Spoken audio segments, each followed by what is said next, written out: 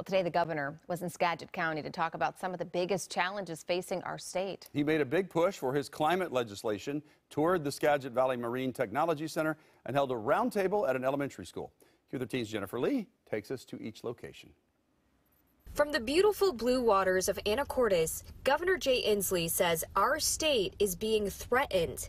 He says the wildlife are being impacted, forests are burning down, children are breathing smoke in from the forest fires, and that is leading to an epidemic of asthma. And we are here today to call the Washington State Legislature to action to stop climate change, to attack carbon pollution, and to give Washingtonians what they deserve, which is clean air. Inslee is supporting two bills, one to establish a clean fuel standard aimed at reducing transportation emissions. And the second bill is called the Climate Commitment Act. The governor says it's a cap and invest program to reduce emissions while making progress on new infrastructure that produces and uses energy cleaner and more efficiently. We know that COVID is not the only crisis we have today. We have a climate crisis today just as existential as COVID.